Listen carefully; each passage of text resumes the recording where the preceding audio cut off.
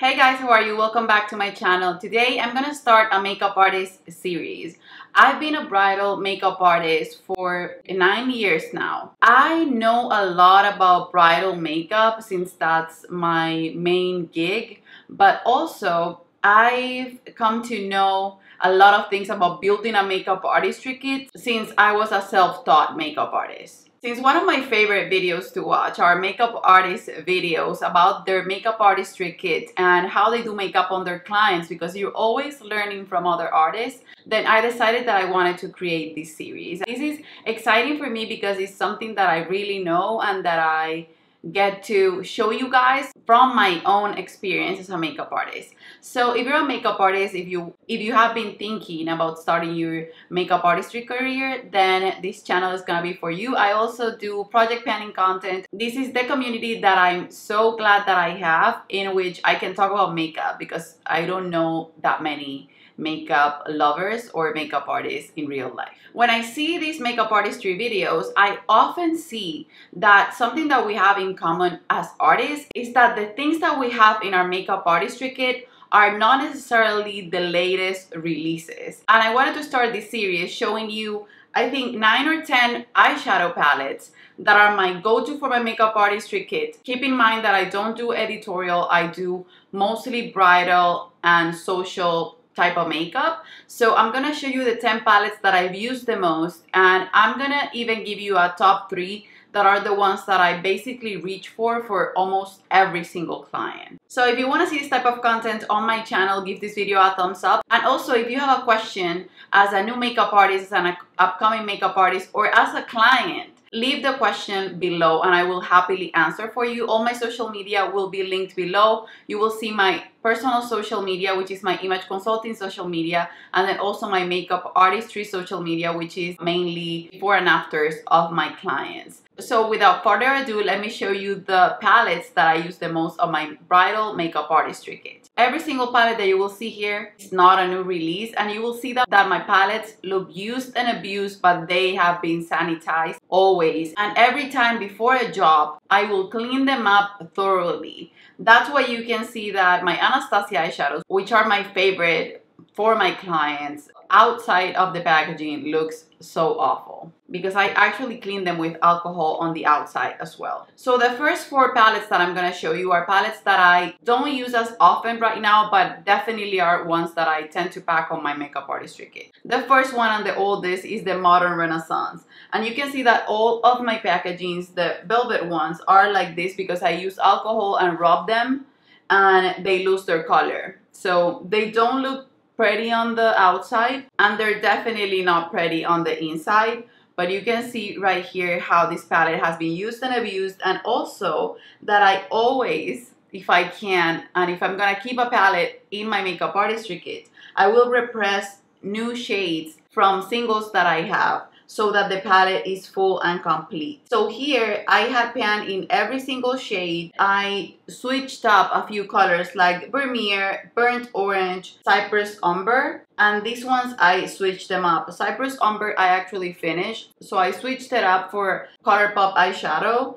Then Burnt Orange, I finished it and then I switched it up for a corally orgasm color type of eyeshadow. Under Vermeer, I switched it up for another Anastasia eyeshadow. And you can see that this color is basically a color that I can use on every single one of my clients if I want to deepen up something or if I want to create a chocolate smoky eye. For me, palettes need to be functional and they also need to have eyeshadows that can be my go-to. So the first one is the Modern Renaissance and you can see how beat up this one is. Okay you guys, so I'm hoping that the lighting on this video is not all over the place. I'm using the manual setting and so bear with me because I'm trying to use my microphone and see if I can improve the sound of my videos. Something is not quite alright is because I'm not an expert on lighting and how to set up everything to film a video, even though I've been doing YouTube videos for God knows how long. Another palette that I've used a ton on my makeup artistry kit, and I've used it more lately,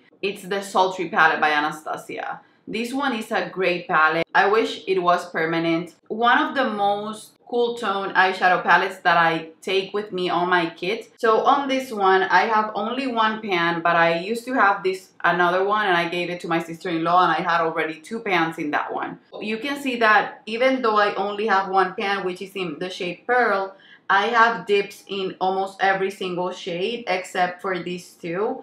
And Noir is one of my favorite blacks. It's just that if I have one that is more used in another palette, like the Soft Glam, I will tend to go for the one that it's already been used and abused and finish that first before messing another eyeshadow in a palette. This one is a go-to for when I see a client that will look better with cool tone makeup or when they want something that is not necessarily my go-to makeup style. I tend to go for peach makeup or pink makeup even if it's bridal. I don't do the typical wide cut crease and then black grayish uh, smoky eye.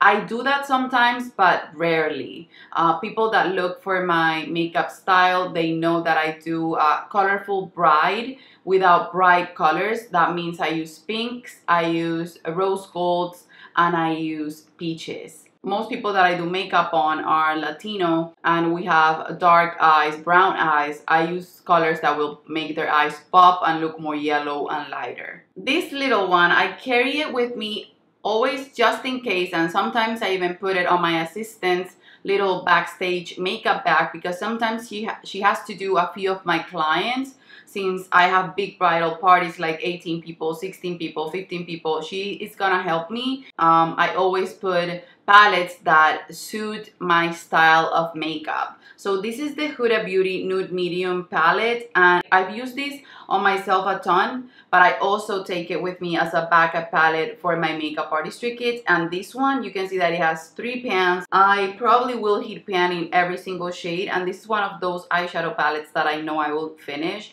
This is so beautiful and this is my style of bride. So sometimes I regret that I didn't pick up all three shades of these type of palettes because they are perfect for my makeup kit. Another one that I've been taking lately, uh, it's been about a year since I started taking it, is the Amrezy by Anastasia. And you can see that Anastasia is definitely a favorite when it comes to me as a makeup artist because on my personal videos, you can see that I love Natasha Denona.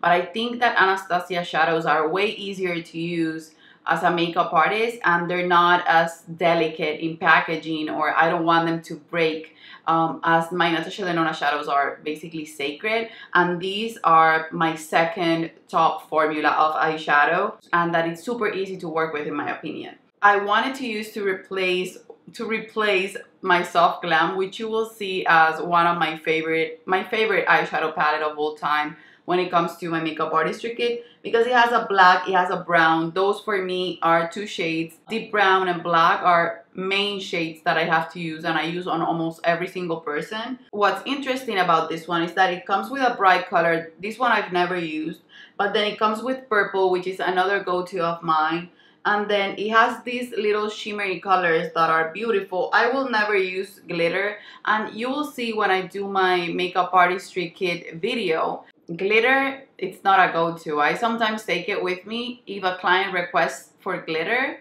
99% of the time i can count with my own hands the amount of time that i use glitter that is not a Stila glitter and glow. This palette has a few pops of color but it comes with transitions and the rest of the colors are mostly neutrals or pink, purples, and peaches. These are palettes that are mostly the ones that I use for my brides specifically. So the first one that I have here, and I think the newest palette from them all, and this is not a new palette, is the Naughty palette by Huda Beauty. This is just perfection and the reason why I purchased it is because of the Huda New Nudes which is one of my go-tos for bridal. This one has two pans and I know it will have way more but these colors are beautiful for I use this mostly on bridesmaids but I can use this one on brides as well.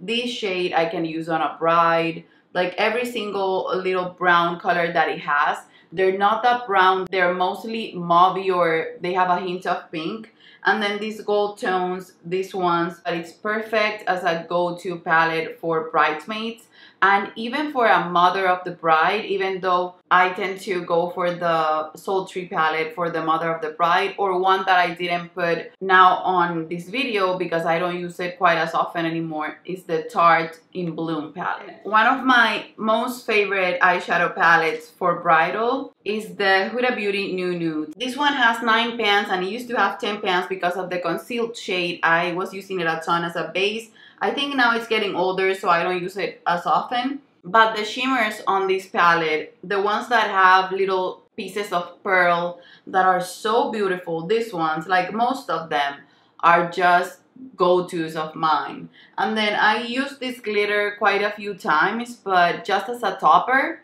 And I don't like glitter. I just wanted to use it more. But these three shades right here are just main shades that I use for clients, for brides and these two more than anything. Every single bride that I've done a pink look or a goldie with pinky tones type of look, they've loved it. The mattes here complement the shimmers perfectly. This is one of the most beautiful bridal palettes that I've ever used. And I know that this is the type of palette that if I finish it, I will repurchase.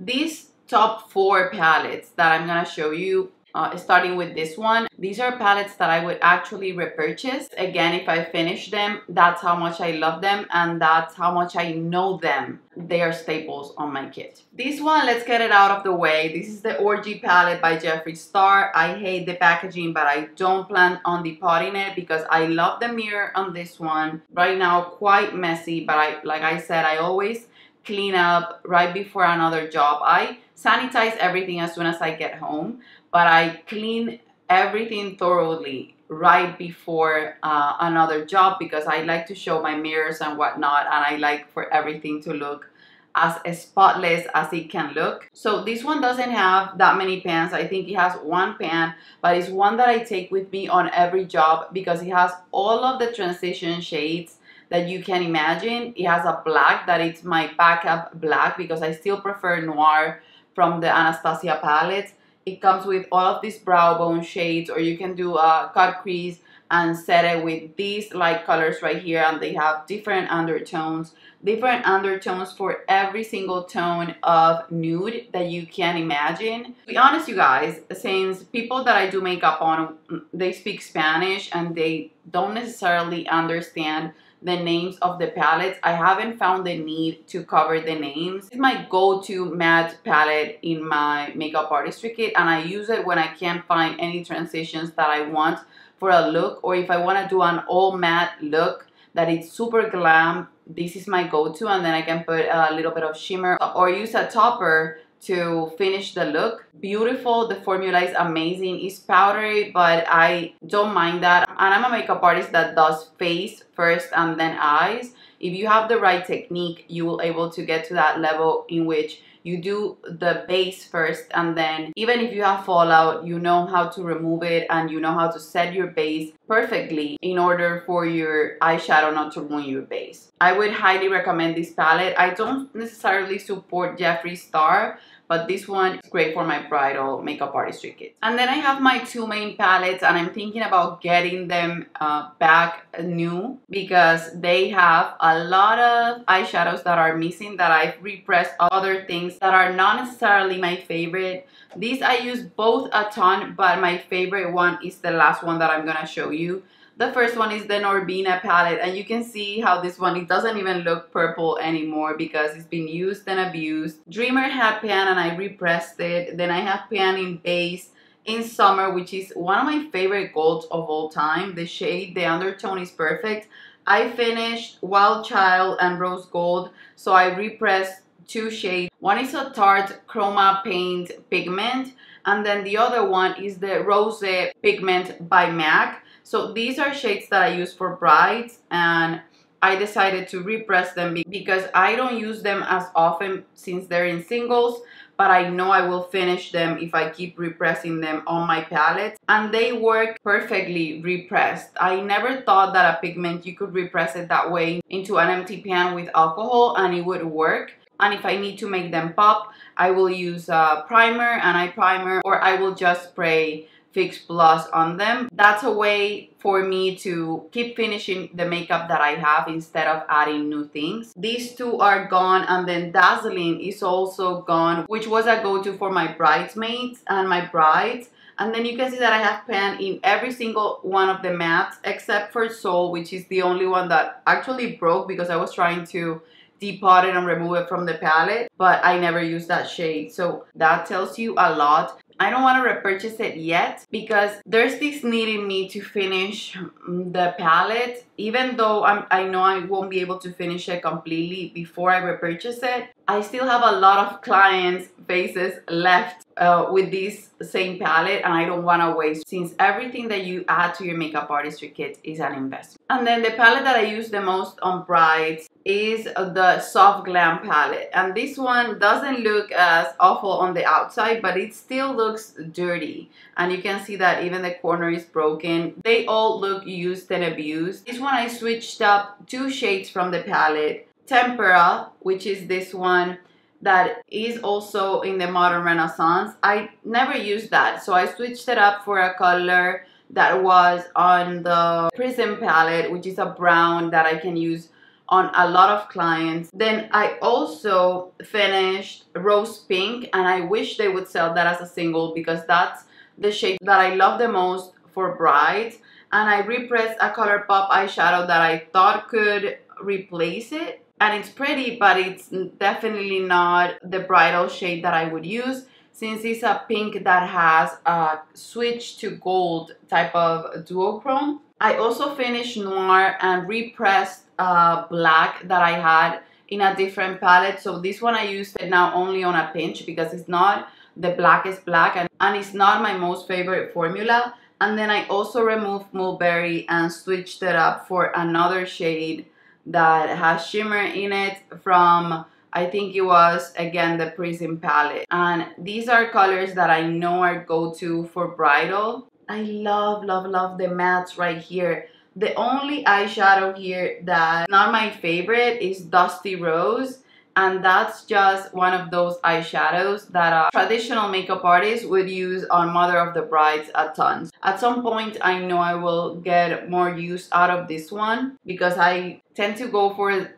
similar looks depending on the style that I'm currently having. That one hasn't been my style yet, but this palette, I know that if I would repurchase it, the first shade, like always, to go would be Rose Pink. I love that shade. I wish I could show it to you. This palette is definitely my favorite bridal. If you're looking to do brides and you know that your clients or the type of clients that you have love warm tones, then this one is a go-to of mine. And then you can also find cool tones in it.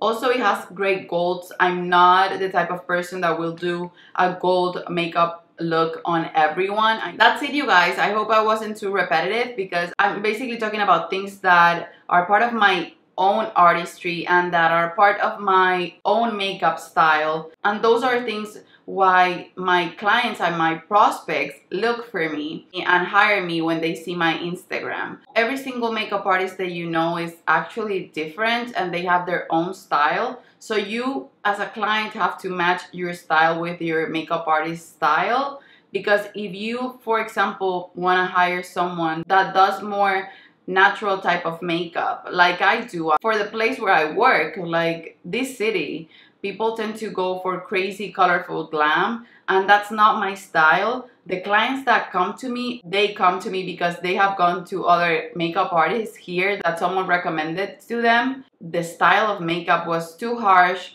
too clowny or too colorful so the style that they had didn't match the makeup artist that people were recommending to them. So you have to match your style as a client with the style of the makeup artist because there's room for everyone. You have to figure out your style and stay true to it because clients will come for what you do even if it's not the same as everyone is doing even if it's not the trending thing.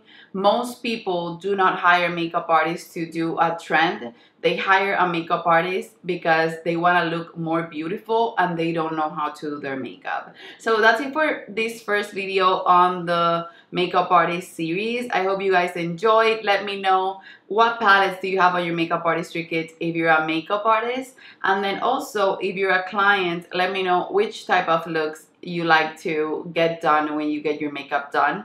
That way I can get to know you guys more as clients and as makeup artists and I can create looks accordingly. So that's it you guys. I love you and I guess I'll see you on the next one. Bye bye.